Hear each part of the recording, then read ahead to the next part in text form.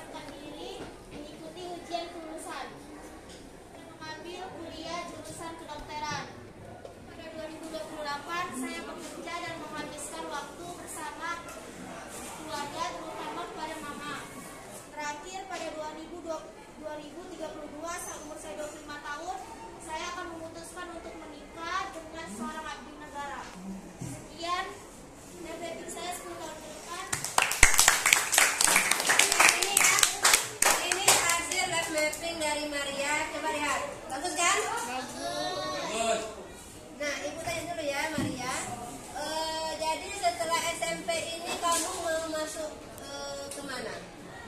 Masuk SMA. Masuk SMA. Lalu setelah eh, SMA itu jurusannya apa? Jurusannya IPA. Jurusannya IPA ya.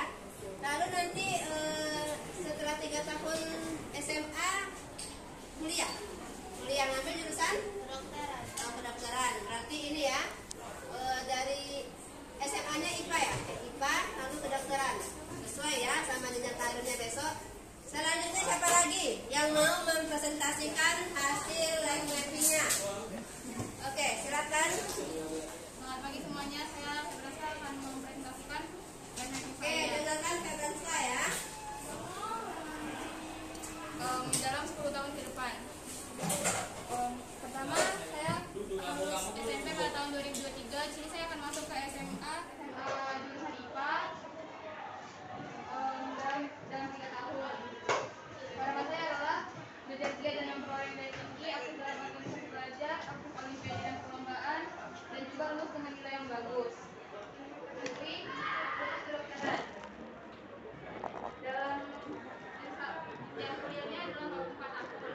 Setelah kuliah saya akan masuk dalam kuliah harapan saya adalah lulus dengan nilai yang bagus, lulus portofolio, aktif dalam organisasi yang dalam perlombaan dan bisa produktif.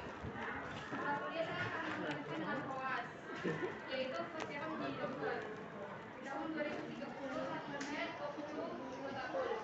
Harapan saya adalah bisa menjalani dengan baik, produktif dan tetap eh, dan tetap menjaga kesehatan sehat saya. Saya harap bisa membantu perekonomian keluarga dan mengajak orang tua saya berliburan ke Yerusalem dan membagikan keluarga saya. Dan terakhir di traveling, saya berharap bisa keliling dunia. Saya, bisa- saya ingin ke Korea Selatan ber- menemui idol K-pop favorit saya. Lalu ke Paris, Prancis untuk berliburan dan juga ke Jepang. Sekian, sekian live saya. Terima kasih. Nah, itulah ya hasil dari live mapping teman kalian. Eh, siapa lagi yang mau menampilkan live mappingnya? Silakan. Silakan, Demis. Perkenalkan nama saya Lewi Sandar Sumacetan. Di sini akan menerangkan live mapping saya 10 tahun ke depan. Setelah saya lulus SMP, saya mengambil SMA, saya mengambil jurusan IPS. Lalu setelah saya lulus dari SMA, saya mengambil kuliah di luar kota dan mengambil jurusan pelayaran. Dan setelah saya lulus dari kuliah, saya mengambil pekerjaan saya yaitu karir. Karir saya yaitu ingin menjadi pelayar, pelayar, pelayar kapal. Terus setelah saya bekerja, saya menik saya menikah pada usia 27 tahun. 20 tahun menikah. Ya. Ingin jalan-jalan ke Yerusalem membawa kedua orang tua saya. Oke, satu orang lagi. Siapa yang mau?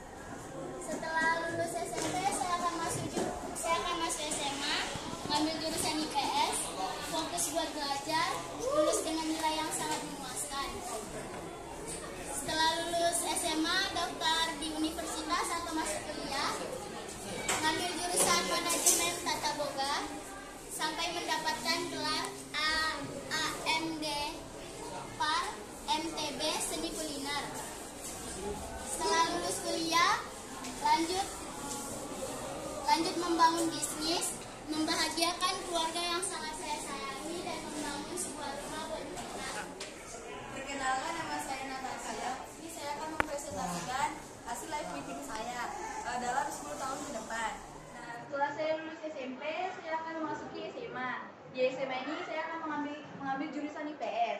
Nah, setelah SMA, saya ingin eh, langsung tes poluan.